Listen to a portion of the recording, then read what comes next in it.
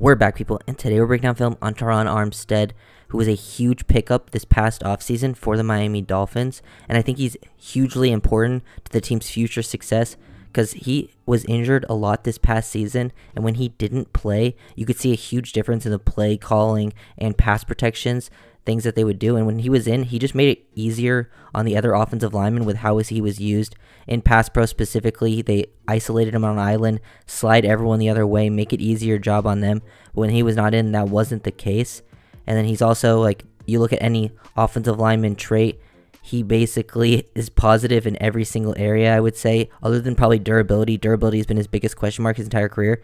But this past season, like he played the entire season injured and only missed three games, which I think shows a lot of toughness and uh, leadership, leading by example. And I love to see that from, you know, a veteran, bringing in a veteran, playing through those injuries, which can be tough on a player. So hopefully, looking into the future, he can stay a little bit healthier and show off even better play, which could really elevate and take this offense to uh, the next level, which would be about as good as you can get. I thought this Browns game was one of Armstead's best game all season long. Really love how he helps out on this combo initially. We'll go watch this down, break this a little more slowly.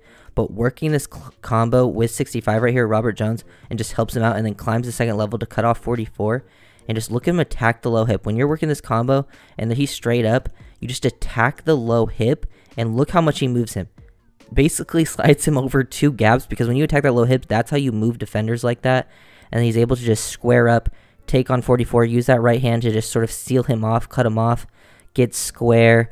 Um, good hand usage as well from Armstead. He's a great athlete. He can he had one of like the best 40 times an offensive lineman's ever had. Like he's great out in space. And he's like, I mean, he's a little bit older, obviously, being a veteran now, and he's playing through the seat. He's probably injured at this point in the year. He played through almost every single game injured and he's still moving well out in space, making plays. Love watching Armstead work in the running game. We get to watch Armstead isolated on Myles Garrett, obviously one of the NFL's best. You can see how explosive he is out of his stance right here. Like I feel like a lot of times this season when he was going against lesser pass rushers, he would take a little more slowly, a little more patient. He didn't want to, you know, overset or anything. But he knows against Myles Garrett, he's got to get out of his stance explosive because Myles Garrett's very explosive. But right here, he gets out really good bend, good burst in his stance, keeps a good base. He maintains a half man relationship, which means you want to be inside half man, left shoulder into like the midline of the defensive end. And he just tries to bull rush him. He gets hands low, and you can see just this nice solid anchor against Myles Garrett. Like he gets pushed back a little bit, but Garrett's one of the strongest dudes in the NFL. And then gives Tua enough time to, you know, throw it over the middle, get a nice completion down the field to Waddle. Armstead usually just makes it look easy. Sometimes it doesn't seem like he's doing anything too crazy, but he just has great technique, knows how to use his hands right there.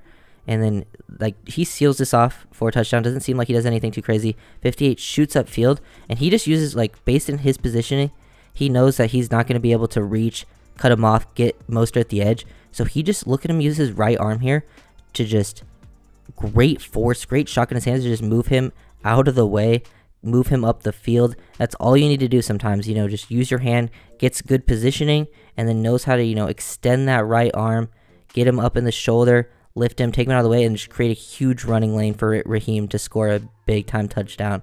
Uh, excellent nuance right there from Armstead.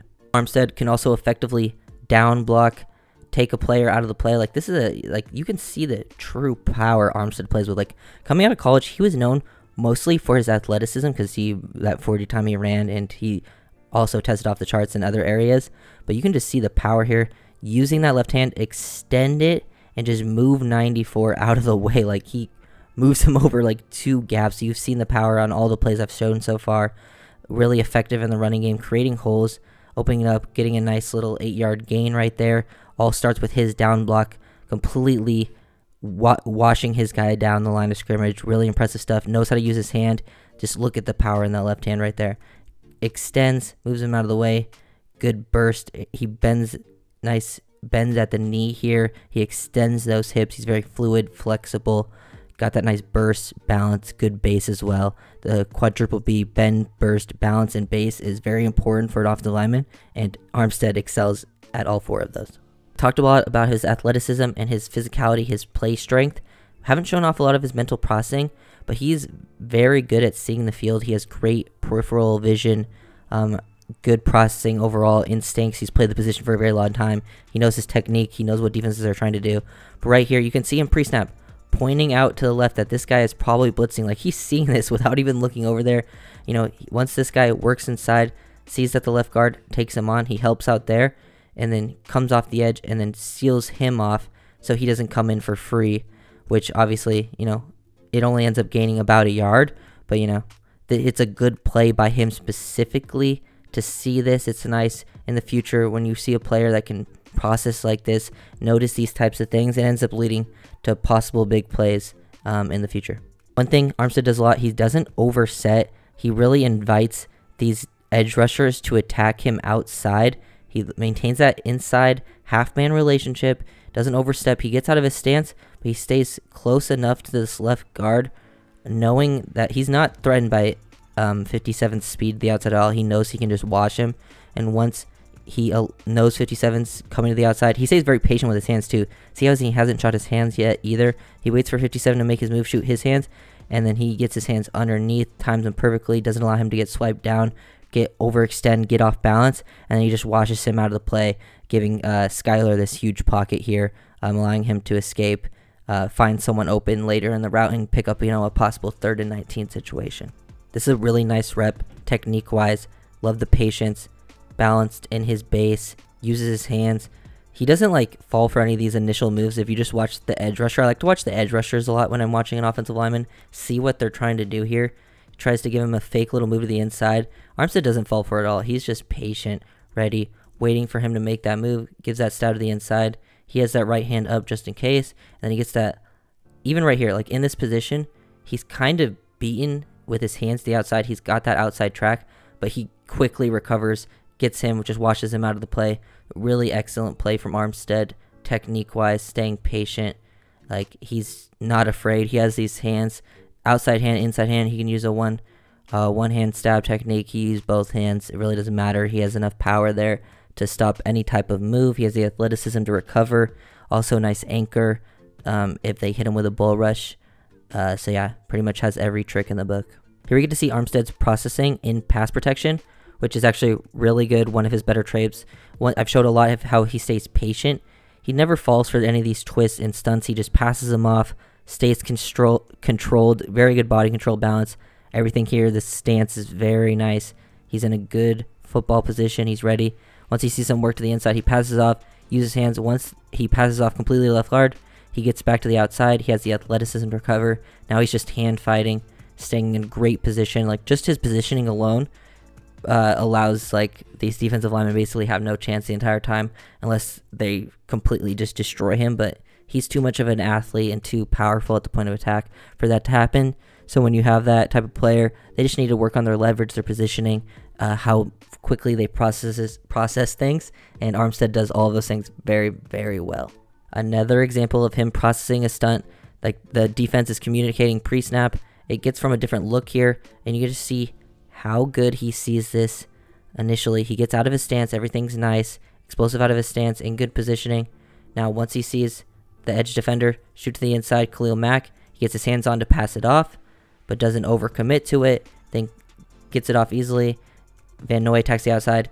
And see how if Van Noy kind of tripped there too, and this is a move that Armstead loves to use. He it's called like a snatch move where they get their hands kind of low and he just snatches down. And a lot of times Armstead's like one of the best in the NFL at doing this. And I think if uh, the defender didn't slip a little bit and actually attacked him, he probably would end up on the ground actually, because um, the timing of that you snatch. It's called a snatch and trap. They get down, their hands they go to the ground. It's something Armstead's done a lot, especially in the past. Didn't see too many examples of it examples of it this year just because I don't think it the opportunity presented itself. But it's just something to keep in mind. He's got a lot of different techniques to use, knows how to use those hands. It's a very fun thing to watch, uh, watching Armstead play, and because uh, he pretty much does everything well. Here's Armstead getting isolated to his side. They slide to the right, and he's just one on one. This is like a lot of the times how they used him, getting him one on one opportunities.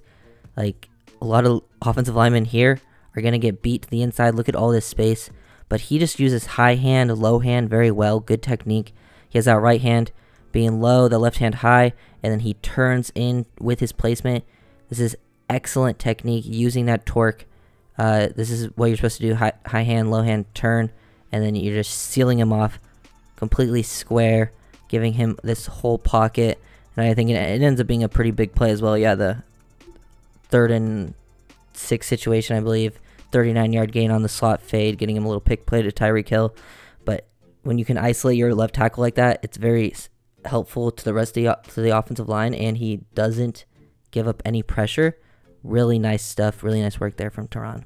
Last play, that one breakdown. Armstead just using his hands again, using that power at the point of attack to just sort of get these defensive ends out of the way, give create these big run lanes.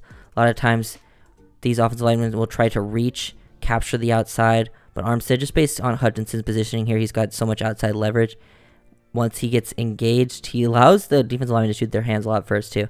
Once he gets engaged, he gets his hands in good positioning, and then just uses the right arm, just extend it, power, torque behind the hips, everything.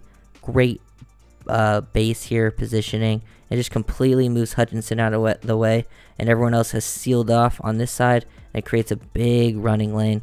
Love that use of hands, the technique, the nuance. All it takes is sometimes extending one hand without extending the other to create these lanes, and a lot of offensive linemen don't understand that. But said super advanced in that area. So if you guys enjoyed the video, make sure like, kind of, subscribe, and I'll see you guys next time. Peace.